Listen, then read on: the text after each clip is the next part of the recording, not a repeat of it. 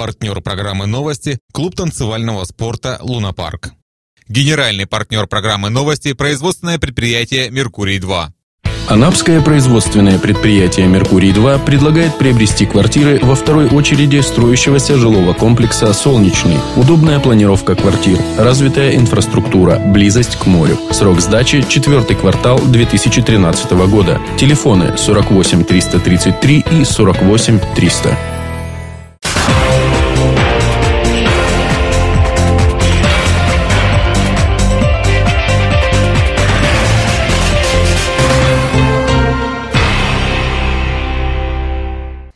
Эфир канала РЕН-ТВ продолжают новости Анапа регион. В студии Ирина Меркурьева. Здравствуйте. Смотрите сегодня в выпуске. Итоги исполнения краевого бюджета подвели в Туапсе. Несанкционированная торговля в городе. Контрольные рейды продолжаются. Об этих и других событиях расскажем прямо сейчас. Во вторник, 18 июня, в Туапсе прошли выездные парламентские слушания по обсуждению итогов исполнения краевого бюджета за прошлый год. В них приняли участие представители всех муниципальных образований края, депутаты, главы районов и сельских округов, представители ТОСов и СМИ. Обсуждение бюджета края с привлечением широкой общественности стало уже традиционным. Но вопрос о том, как был исполнен бюджет 2012 года, на выездные парламентские слушания был вынесен впервые. Обсуждение краевого бюджета стало традицией проводить в Туапсе летом. За окнами цветут магнолии, а в холле городского дома культуры играет симфонический оркестр, что придает такому событию особую праздничную атмосферу. Цель выездных парламентских слушаний – объяснить избирателям, налогоплательщикам, куда направлялись бюджетные средства и к какому результату привело финансирование тех или иных программ. То есть дать возможность проанализировать эффективность бюджетной политики края. Объем доходов консолидированного краевого бюджета с учетом федеральных средств по итогам 2012 года года достиг 245 миллиардов рублей, а собственные доходы консолидированного бюджета края более 174 миллиардов рублей. В результате исполнения краевого бюджета за прошлый год удалось добиться повышения заработной платы работников госучреждений на 6,5%. Профинансированы надбавки к заработной плате от 3 до 6 тысяч рублей. Также профинансированы краевые целевые программы, государственные инвестиционные проекты, реализуемые на территории края. В экономику региона привлечено почти 80 миллиардов рублей инвестиций в основной капитал, а если с иностранными инвестициями, то эта цифра превысила 1, 1 триллион.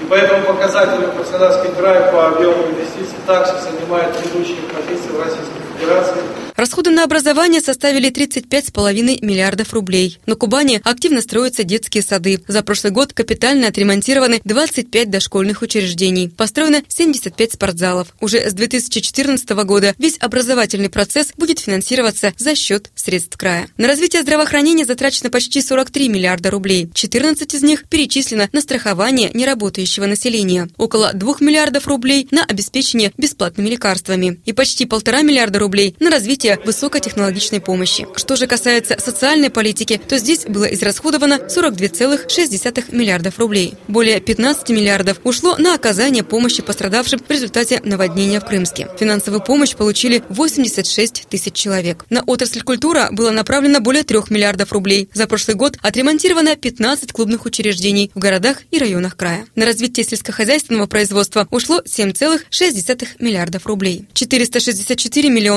было направлено направлен в муниципальное образование на поддержку крестьянско-фермерских хозяйств и ЛПХ. Примером такой финансовой помощи стал доклад анапского индивидуального предпринимателя Владимира Вильямса. Отраслью животноводства он занимается с 2003 года. Начал свою деятельность с малого – разведения и откорма на личном подворье свиней и рогатого скота. С годами успешно увеличивал поголовье. Стартовым капиталом для развития его бизнеса послужили бюджетные субсидии. Уже 8 лет на территории Краснодарского края существует и успешно работает программа государственной поддержки малых форм хозяйствования. И мои коллеги получают бюджетные средства по таким направлениям, как субсидирование производства мяса и молока, приобретение сельскохозяйственных животных и птиц, строительство теплиц, приобретение капельного орошения, возврат части сумм, уплаченных процентов по полученным кредитам ходе пресс-конференции председатель ЗСК края Владимир Бекетов сакцентировал внимание журналистов на работу крестьянско-фермерских хозяйств и ЛПХ. Выступление предпринимателя из Анапы стало явным доказательством того, что при желании работать все складывается удачно. Мы с вами слышали выступление, я второй раз возвращаюсь к этому, предпринимателя из города Анапы, Э, на мой взгляд, это образец того, как человек должен относиться к тому делу, которым он занимается. В чем его сила? Он понял, что он работает не на кого-то, не на рынок, он работает на свою семью. И сегодня рынок, у него вот востребовал свинину, он ее производил и сказал, высокорентабельное производство. В то время как есть такие, которые говорят убыточно, потому что он не умеет работать. Анализ использования краевого бюджета дает возможность реально оценить, как подходить к формированию бюджета будущего года. И чем лучше будут работать кубанцы, тем эффективнее будет наполняемость бюджета края. Светлана Авилова, Александр Кореневский, Игорь Кушаков, Топсы, Анапа регион. В Анапе продолжаются контрольные рейды по пресечению незаконной торговли. Нарушители правил честного рынка на замечания реагируют по-разному. Кто-то молча собирает вещи и исправляет ошибки, кто-то угрожает расправиться с комиссией и нашей съемочной группой.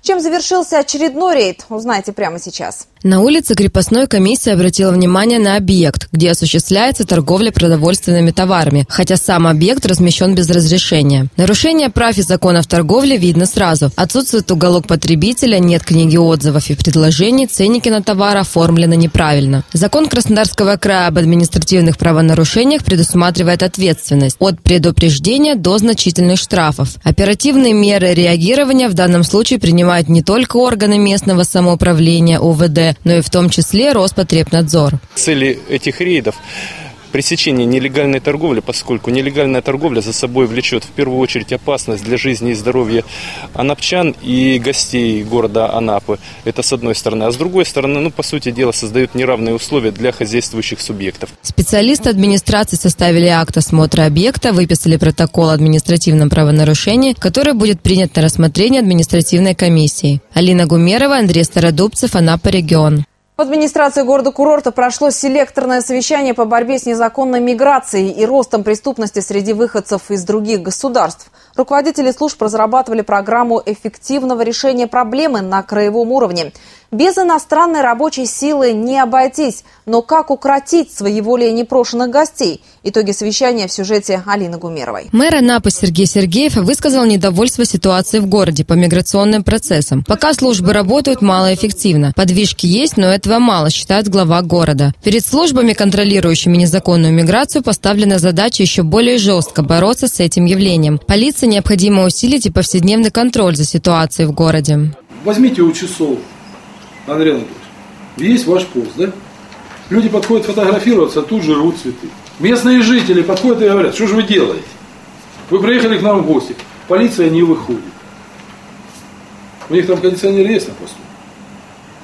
Ну, если есть, вентилятор отключи, чтобы они по улице прохаживались. Еще один острый вопрос – несанкционированная торговля. Сергей Сергеев подчеркнул, анапчане высказывают массу претензий по вопросам незаконной торговли. Мэр Анапы потребовал усилить работу в этом направлении, чаще проводить рейды совместно с налоговой инспекцией. У нас вот сейчас выйдем, два квартала с земли торгуют котлетами.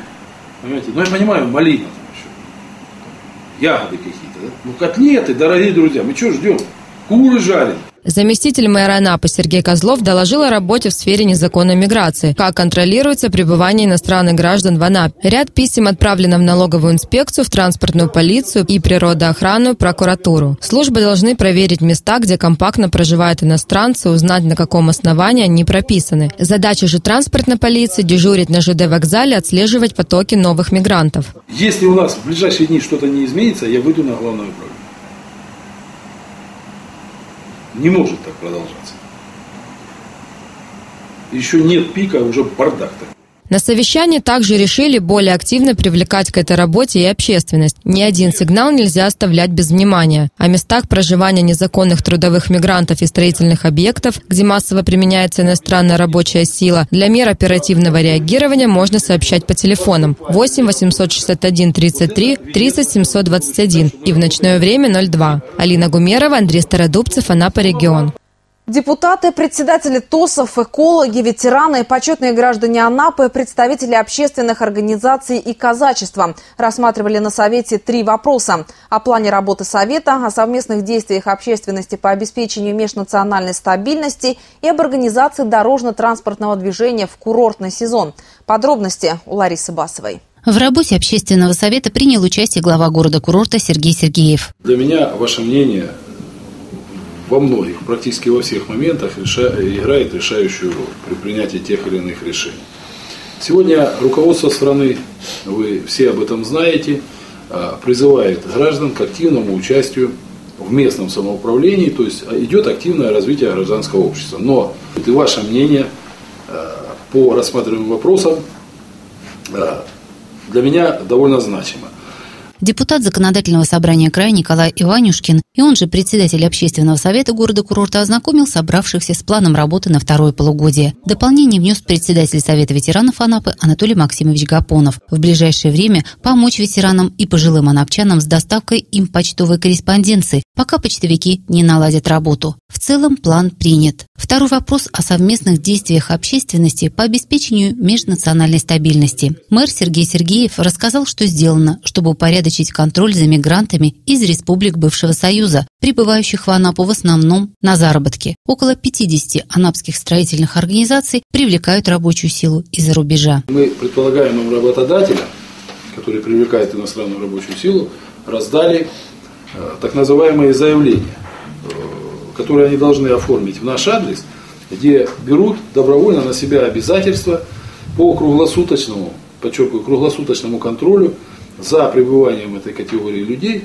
у нас на территории, э, исключил их бесконтрольное групповое проживание, нахождение здесь на территории. Кроме этого, мы организовали ежедневные рейдовые мероприятия. Рейды проводят сотрудники миграционной службы, полиция, администрация казачества, чтобы пресечь незаконное нахождение на территории города-курорта иностранных граждан. Начальник отдела миграционного контроля Василий Каргулев привел по этому вопросу данные статистики. С начала года в Анапу прибыло 10 700 иностранных граждан, что несколько меньше, чем за аналогичный период прошлого года. Большая работа проводится по выявлению нарушений правил пребывания. В приемнике распределителей с последующей депортацией на сегодня определены 92 человека. Общественный совет города-курорта принял обращение к работодателям, привлекающим иностранную рабочую силу с целью обеспечить безопасность и покой как жителям города, так и гостям курорта. И третий вопрос не менее важный – об организации движения «Курортный сезон». На заседании комиссии по обеспечению безопасности дорожного движения было принято решение о целесообразности организации пешеходных зон в следующих местах. Это улица Набережная, улица Горького на участке от Театральной площади до улицы Красноармейской. В поселке ДжМТ, это в районе первого проезда, проезда Уральская, улица Морской, Песчаная, Виноградная, Турку, Юбилейная. Председатель Совета общественности поселка Витязева Сослан Теблоев и заместитель атамана Анапского районного казачьего общества Анатолий Кислицкий попросили на время курортного сезона обеспечить дежурство сотрудниками ДПС центральной улицы Витязева-Черноморской, где нарушаются правила парковки и движения, что называется, на каждом шагу. Несмотря на то, что в пик курортного сезона отдел ГИБДД загружен работой, мэр Сергей Сергеев обещал помочь. Ну, я думаю, найдем на Черноморскую. Решим что-то. Лариса Басова, Роман Карпов, Анапа регион. И еще важная информация. С 22 по 26 июня в Анапе пройдет выставка продажи «Меховая палитра». Летние скидки на все от 20 до 50%. Вещи можно купить в рассрочку, в кредит и без переплат. При покупке шубы жилет из лесы в подарок. Выставка будет работать с 22 по 26 июня с 10 часов утра до 10 часов вечером по адресу город Анапа, угол улиц Крепостная и Ивана Голубца, 30. А на сегодня это все новости. И в завершении выпуска прогноз погоды на завтра. Партнер прогноза погоды – торговый центр «Алиса». Как в стране чудес в этом торговом центре есть все. Важные, приятные и полезные покупки в одном торговом доме в центре города. А на сегодня это все новости. И в завершении выпуска прогноз погоды на завтра. Партнер прогноза погоды – торговый центр «Алиса». Как в стране чудес в этом торговом центре есть все. Важные, приятные и полезные покупки в одном торговом доме в центре города. У каждого из нас свои желания. Кто-то любит шопинг, кто-то не любит шопинг. Кто-то любит играть.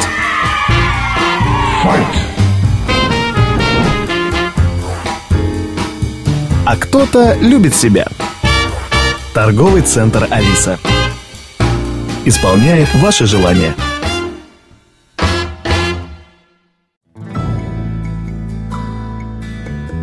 пятницу 21 июня в Анапе будет малооблачно, без осадков. Температура воздуха в дневные часы плюс 23-25, ночью до 21 градуса по Цельсию. Ветер северо-западный 4-6 метров в секунду. Атмосферное давление 759 миллиметров ртутного столба. Температура морской воды у берегов Анапы 23 градуса выше нуля. Далее блок полезной информации от партнеров программы производственного предприятия «Меркурий-2» и клуба танцевального спорта «Лунапарк». Эти и другие новости вы можете найти на нашем сайте. А я с вами прощаюсь. Всего доброго и до свидания.